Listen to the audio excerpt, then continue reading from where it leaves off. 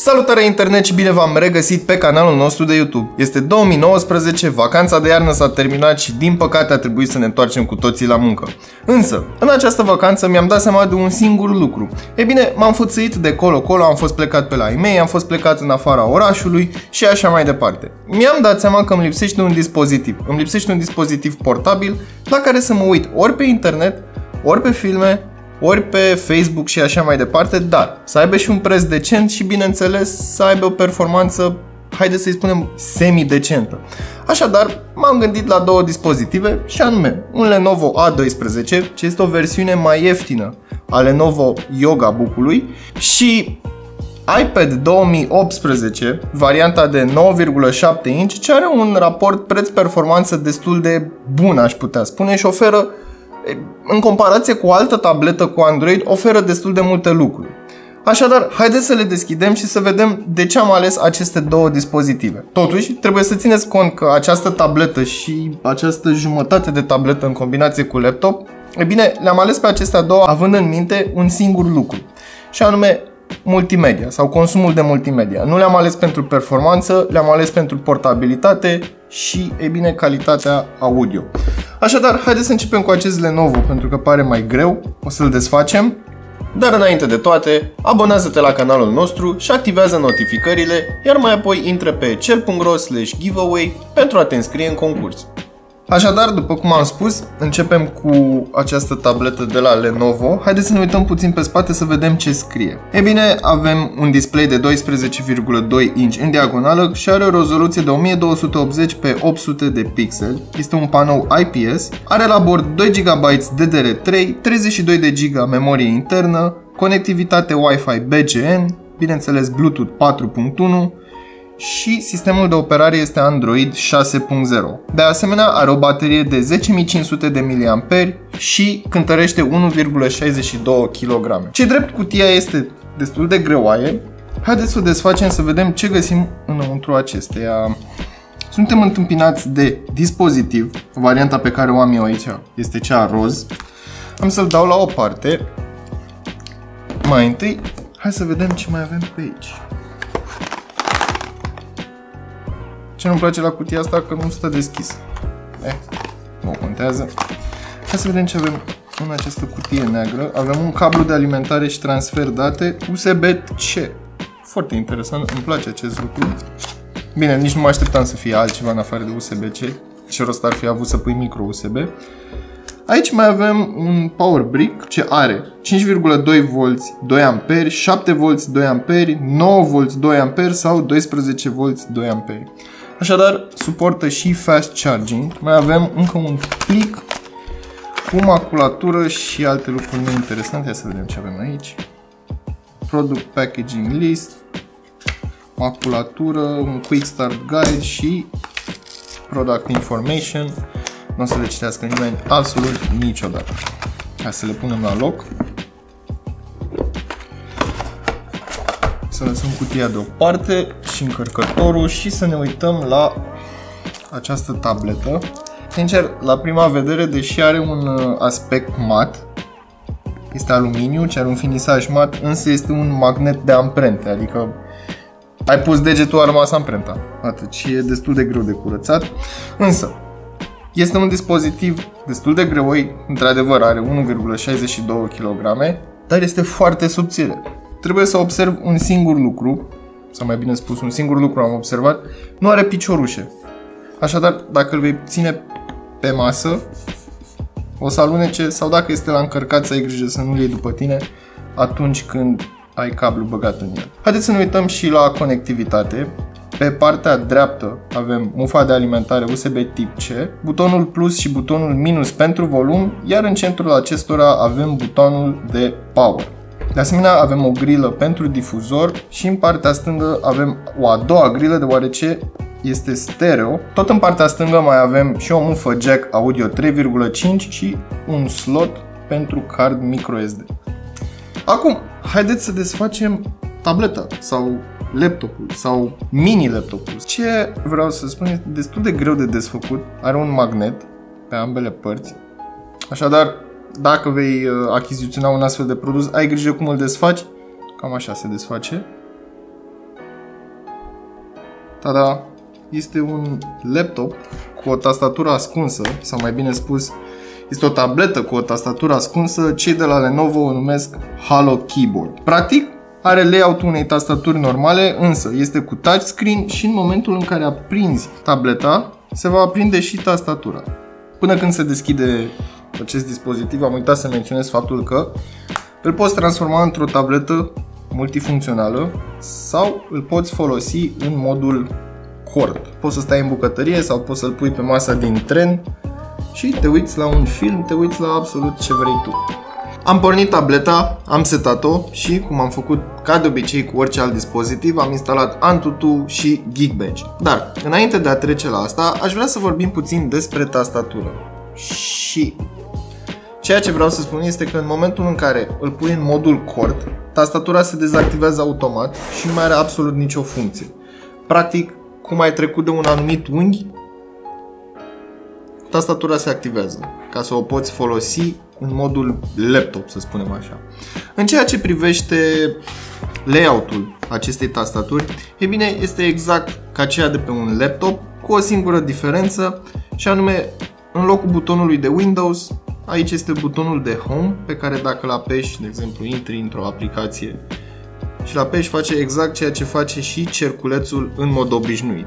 De asemenea, avem și funcția de Page Up, Page Down, print screen, delete, backspace și toate butoanele funcționale de la F1 la F12 cu funcționalități diferite. De exemplu, F2 și F3 poți regla volumul, F5 și F6 poți regla luminozitatea și în combinație cu tasta Function poți regla luminozitatea tastaturii și anume mai mică sau mai mare în funcție de cum dorești să vizualizezi această tastatură.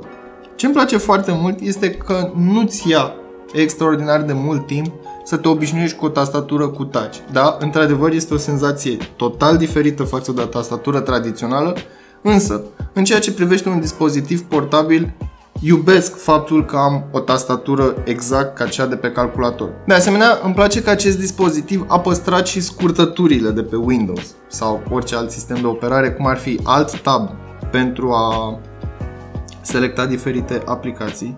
Hai să deschid mai multe ca să am din ce să selectez.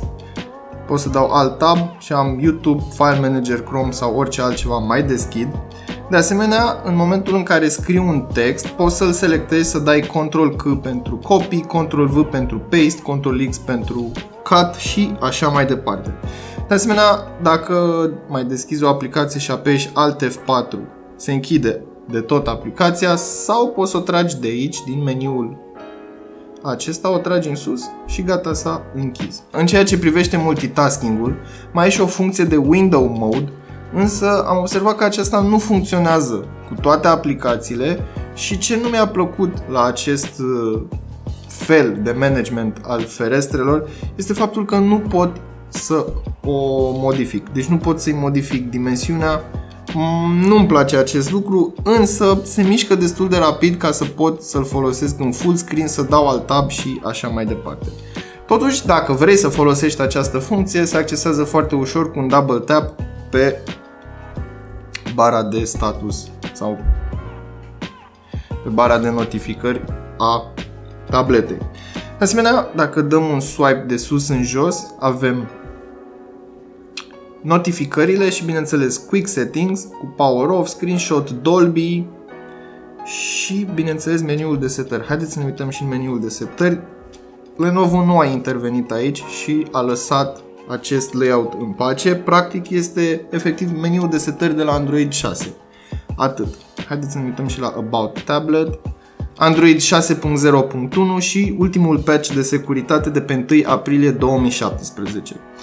Ce vreau să spun aici este că, din păcate, probabil Lenovo nu va mai lansa o actualizare software, însă, având în vedere scopul acestei tablete, pe mine personal nici măcar nu mă deranjează care o versiune mai veche de Android. Adică poți să te uiți pe Android 5, la fel de bine cum poți să te uiți și pe Android 10, la filme, pe Facebook și așa mai departe. Acum, în ceea ce privește funcționalitatea tabletei când vrei să scrii, ea vine preinstalată cu Docs și Slides și celelalte unelte de la Google în ceea ce privește editarea de software, însă ești liber să le downloadezi și pe cele de pe Play Store. Un aspect minor pe care l-am observat la această tabletă și ei bine nu mi-a plăcut este faptul că nu am o aplicație preinstalată de galerie și sunt obligat să folosesc Google Photos. Personal nu prea agrez această aplicație, însă la un simplu search pe Play Store am găsit Simple Gallery.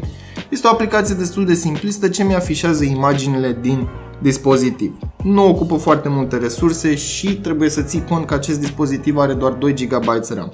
Așadar, aș recomanda utilizarea de aplicații care folosesc destul de puține resurse. În ceea ce privește consumul de multimedia, ei bine, aici mi-a plăcut foarte mult faptul că are două difuzoare stereo și se aud extraordinar de bine pentru un dispozitiv în gama aceasta de preț. Și haideți să intrăm pe YouTube să căutăm ceva. One of my favorite messages that humans have ever sent for extraterrestrials to someday receive was written in 1974 by Frank Drake. Nu are o calitate extraordinar de mare, adică nu-l compara cu un laptop care are sound by Harman Kardon sau by AKG și așa mai departe. Însă, funcția Dolby din acest laptop, e bine, în momentul în care conținut multimedia care suportă această tehnologie se va auzi destul de bine. De asemenea, îmi place faptul că vocea se aude clar și toate elementele din film sau din videoclipul pe care tu îl urmărești se aude destul de bine. Așadar, în momentul în care cumperi acest dispozitiv și îl folosești în vacanță, pe drum sau pur și simplu stai în bucătărie și cauți ceva pe internet, vrei să asculti ceva muzică în fundal, ei bine, îmi place. Se aude mai bine decât un radio, se aude mai bine decât un telefon, se aude aproximativ ca și o boxă portabilă entry level. Așadar, la capitolul portabilitate și la capitolul uh, funcționalitate, îmi place extraordinar de mult acest Yoga A12. Încă un lucru pe care trebuie să-l mai menționez și aproape era să-l uit, faptul că am un touchpad, dar nu este un touchpad obișnuit, este pur și simplu un pătrat unde am posibilitatea să mișc degetul și să mișc un cursor pe ecran. Însă nu am click dreapta și nu am nici click stânga, pentru a accesa o funcție am doar tap și atât. Dar un tap scurt nu înseamnă neapărat că ai făcut un tap scurt ca și pe ecran. Așadar, va trebui să apeși un pic mai lung. De exemplu, așa. Trebuie să te obișnuiești, însă îmi place extraordinar de mult faptul că am o tastatură slim într-un dispozitiv foarte slim pe care pur și simplu l-am aruncat în ghiozdan și l-am cu mine mereu. Într-adevăr, ecranul nu are cea mai bună rezoluție, însă pentru un dispozitiv portabil mi se pare destul de bun. Așadar, hai să încercăm să scriem un document cu Google Docs. E bine, am un editor de text unde pot să scriu absolut cel.ro sau vulpea leneșă sare.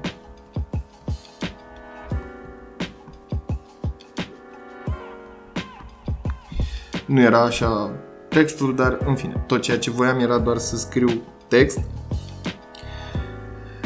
în final am ajuns și la testele sintetice. Haideți să vedem cum s-a descurcat în Antutu. N-am înțeles exact de ce Antutu nu funcționează în modul landscape, însă am scos un scor de 57.881 de puncte.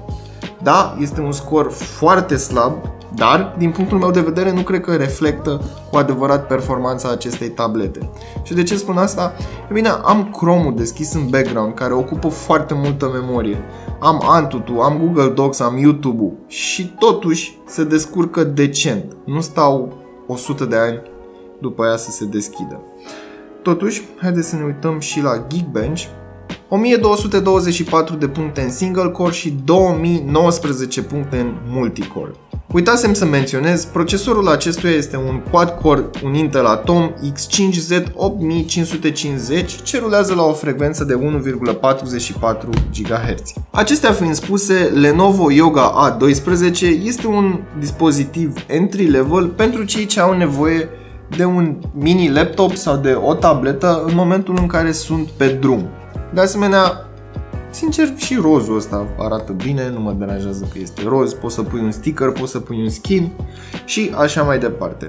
Intră foarte ușor în absolut orice gentuță, poșetuță sau orice micuț. Haideți să ne uităm și la iPad, deoarece am ales două dispozitive, unul cu Android și bineînțeles unul și cu iOS. Cumva sunt mai încântat de acest iPad decât de acest Lenovo. De ce? E bine, acest iPad 9,7 din 2018 este primul iPad în afara seriei Pro ce funcționează cu pixul de la Apple. Dar, bineînțeles, având în vedere că vorbim despre Apple, nu avem pixul inclus în pachet și va trebui să cumpărăm separat. Lacrimă. În ceea ce privește unboxingul unui dispozitiv de la Apple, ei bine, este foarte simplist și foarte scurt, adică avem dispozitivul într-o folie de plastic, cablul de alimentare, o cutiuță sau un plic, bineînțeles cu diverse instrucțiuni, cartonașe și sticăre și încărcătorul. Atât. Asta găsim. În cutia asta imensă, atât avem. Un încărcător și un cablu. Dar încărcătorul este de 10W și are un output de 5,1V 2,1A. Bineînțeles, este un magnet de amprente display-ul acestei tablete, însă, da, trebuie să ne obișnuim. De asemenea, are un strat oleofobic și este rezistentă la zgrieturi. În ceea ce privește diagonala display-ului, este de 9,7 inch, de unde vine și numele acestuia, iar spre deosebire de modelul de dinainte, acesta nu mai are acel switch pentru silent. În partea de sus avem un jack audio 3,5, un microfon, butonul de power și pe partea din dreapta avem cele două butoane de volum. Îmi place foarte mult că au păstrat jackul de 3,5 uh, făcând din acesta un dispozitiv ceva mai flexibil față de iPad Pro care nu mai are jack. În partea de jos avem două grile pentru cele două difuzoare, așadar avem un sunet stereo și încărcătorul Lightning. Cam acest... Ah, era să uit, pe spate avem o cameră, este o cameră simplă, despre care vom vorbi ceva mai târziu. În ceea ce privește construcția, ei bine, având în vedere că este un dispozitiv de 1600 de lei, nu pare că este un dispozitiv de 1600 de lei. Adică este foarte bine închegat, este foarte bine echilibrat, sună la fel peste tot. Sincer, îmi place acest iPad, este mic, este util. Singurul lucru care nu-mi place și nu mi-a plăcut absolut niciodată la iPad este aspectul display-ului. De ce în momentul în care vrei să tastezi, chiar și dacă ai degetele puțin mai lungi, va trebui să te întinzi puțin ca să ajungi la literele din mijloc. Știu că există soluții să împarți tastatura cu alte uh, aplicații terțe, dar nu despre asta vorbim. De asemenea, pe partea din față mai avem o cameră pentru selfie sau pentru apeluri video și, ceea ce mi s-a părut foarte interesant, au păstrat butonul Home ce are și Touch ID. Așadar poți să-ți folosești amprenta ca să blochezi acest iPad.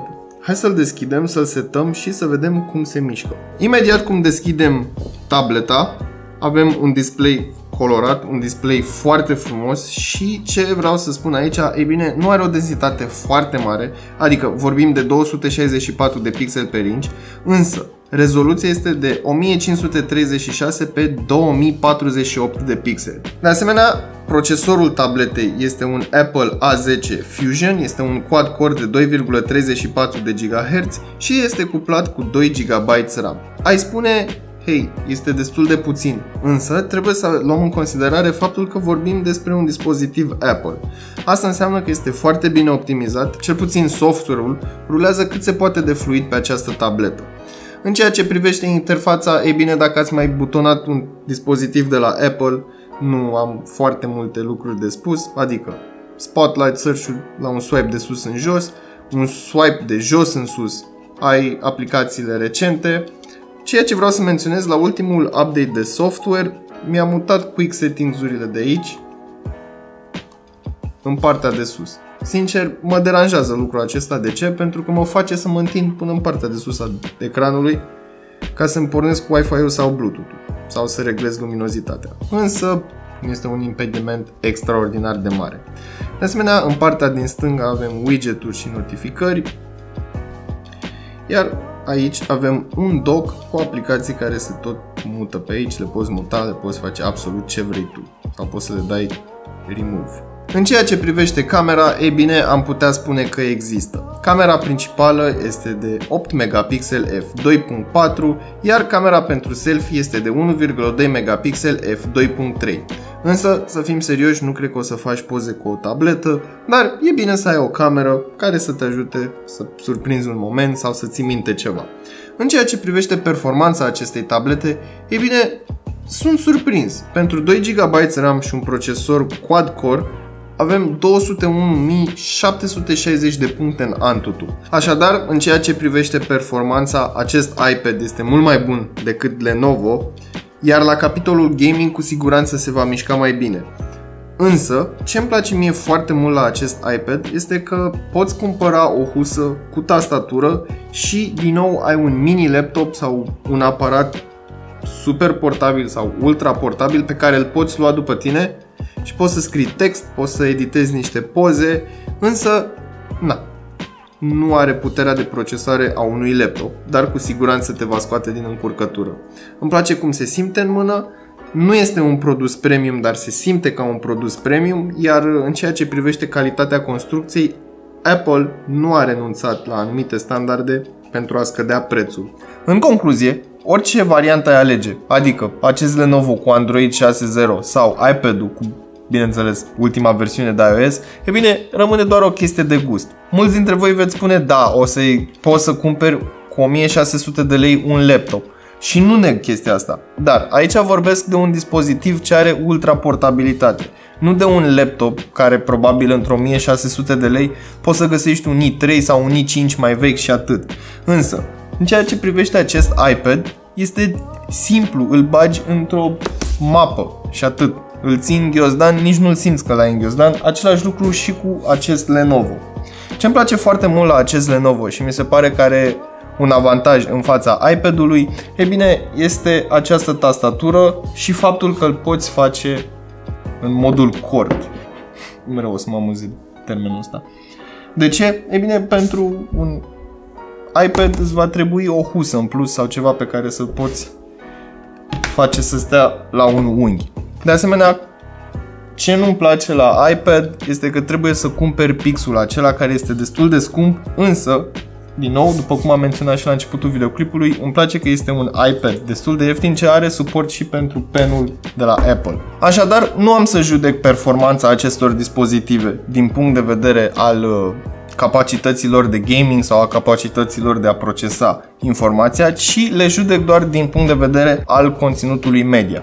Așadar, pe ambele dispozitive am o calitate audio destul de bună, ambele dispozitive au jack audio 3.5 și bineînțeles Bluetooth, Așadar, poți să asculti muzică și nu vei deranja pe absolut nimeni în ceea ce privește acest aspect. Un ultim motiv pentru care am ales aceste două dispozitive, e bine, este autonomia. Pe oricare dintre aceste două le alege, e bine, vei avea cel puțin 4 sau 5 ore de parte de priză. Așadar, chit că ești în bucătărie și ți să te duci să încărcătorul sau ești în tren sau avion și ai un drum destul de lung de făcut, nu vei avea probleme în ceea ce privește bateria. Așadar, rămâne la atitudinea ta să alegi iOS sau Android în funcție de preferințele tale. Totuși, trebuie să ții cont că niciunul dintre aceste două dispozitive nu este făcut pentru performanță. Repet, nu poți să te joci mai mult decât biluțe sau Candy Crush Saga pe acest Lenovo pe iPad te poți juca și PUBG, însă nu o să ai o experiență extraordinar de plăcută. De ce? Pentru că dispozitivul este destul de mare și destul de incomod de ținut în ceea ce privește gamingul. Acestea fiind spuse, eu am fost Dragoș, iar până data viitoare nu uita să verifici descrierea pentru linkuri utile și prețuri actualizate.